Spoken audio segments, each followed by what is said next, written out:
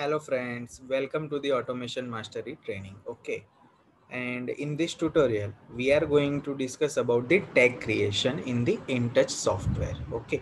How to develop the tags and how to create the tags and how to address them. Okay. So uh, the addressing part we are not going to discuss, but how to create the tags and how to give the data type to them. Okay. So that we are going to discuss in this tutorial. First of all, for that, we have to open the one window okay. So i am opening the one window.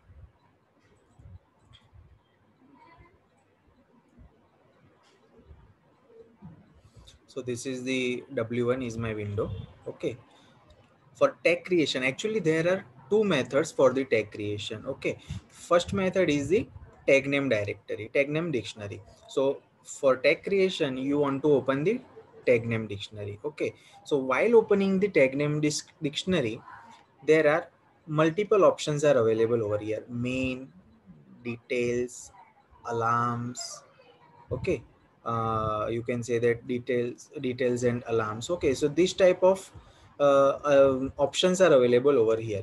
You uh, means always uh, make sure you are in the detail section okay? Always make sure you are in the detail section while creating the tags okay? For new creation of the tag you just press on the new okay? So while pressing on the new uh, the window will be changed. Okay? So appearance of the window will be changed. Here you have have to write down the name of the tag. For example suppose you are going to uh, create a new tag for the on off switch. Okay?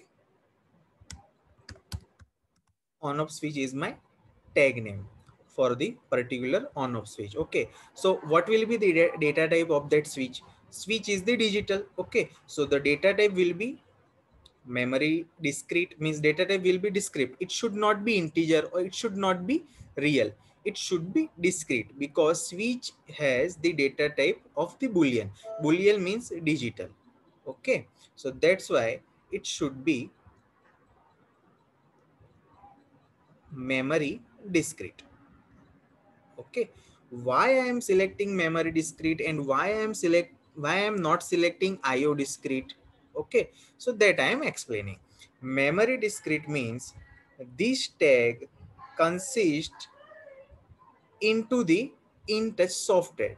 This tag has no relation to the plc means that means this tag is the internal tag of my project. Okay. So this tag has no connection with the plc for example, if I am selecting the IO discrete, IO discrete means input output discrete. Okay. So that tag has to uh, some connection with the PLC. Okay. So that tag has to be addressed. The tag has to be addressed uh, according to the PLC address. Okay. But right now we are not going to discuss about how to address the tag. Okay that means uh, one tag uh, one tag which is in the plc side okay. One tag that means the this tag on off switch tag has in the plc that has the particular address. That address has to map with this tag okay. So for that i have to select the io discrete. Io discrete means tag has to connection with the plc by which kind of connection? Address okay. So tag has some particular address that address consists in the PLC. But right now we are not going to discuss about the addressing part of the tag. Okay, so that's why I am discussing the internal tags of the SCADA. So that's why I am selecting the memory discrete. Memory discrete means it is consist in the memory of the SCADA software. They have this tag has no relation with the PLC. Okay, so I have created one tag on off switch okay? Right now you have to save it and you have to close it. So one tag is created okay? For example you have to create one analog. Analog means uh, digital means boolean right? It has only one and zero value okay? But analog tag has the value like 5.6 56 67 integer value or floating point value or real value so that tag can also be created in this tag name dictionary. For that, you have to create just new. Okay. Right now, I am creating the uh, tag for temperature. So temperature has the value 21, 34. Okay, this type. And what is the data type of temperature? Temperature is can be integer or it can be real. So I am select but right now I am discussing the memory tags. Okay, I am discussing the internal tags of the SCADA software. So I have to select memory real or you can select memory integer. Okay. Right now I am selecting memory real. This tag has no connection with the PLC because I am not giving any address to this tag. Okay, because this tag is the internal tag of the SCADA, internal tag of this project. Okay. If I am giving the address to that to this tag, this tag has the connection with the PLC because that address should be present in the PLC.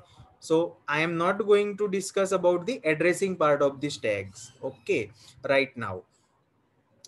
That's why you have to select memory real. Okay, I am selecting memory real. Okay, so temperature is my tag and memory real is the data type of that tag. I have to save and I have to close. Okay, so temperature is the tag which I have created, which is nothing but the analog tag and one digital tag that is the on off switch is uh, I have that I have created, which is nothing but the digital tag. Okay. Let's now I have created two tags. Okay. But you can see that only the uh, last tag is available over here. Means not all the tags are displayed over here. Okay. So where I can find my another tags. So for that, you have to go to this select button. When you press select, tag name dictionary will be open. Okay. So whatever is the tags are available into your project that will be displayed over here. Okay. Right now you can see that number of the tags. Okay. So some of the tags are by default. These are the system generated tags. While creating your project, these tags are automatically generated. Okay. But you are creating the tags as per your requirement. Okay for example, I have created temperature tag and I have created on off switch tag. Okay. So these two tags are listed down over here. Okay. And you can see that tag type is memory discrete and memory real. Right. So these are the tags uh, which are listed down in the uh, select button in the select section. Okay. See on off switch. Okay. Is available and one another tag is temperature. Temperature is available you can modify it as per your requirement at the later stage also okay so after creating the tag you can modify its uh, data type and uh, its name uh, its access level and uh, so many values like minimum value maximum value that will be discussed. Okay. But this is how you can create the tags in the project. Okay. So that's it for this tutorial. And in the next tutorial we are going to discuss how to deal with these tags with some object. Okay. So that's it for this video. Thank you very much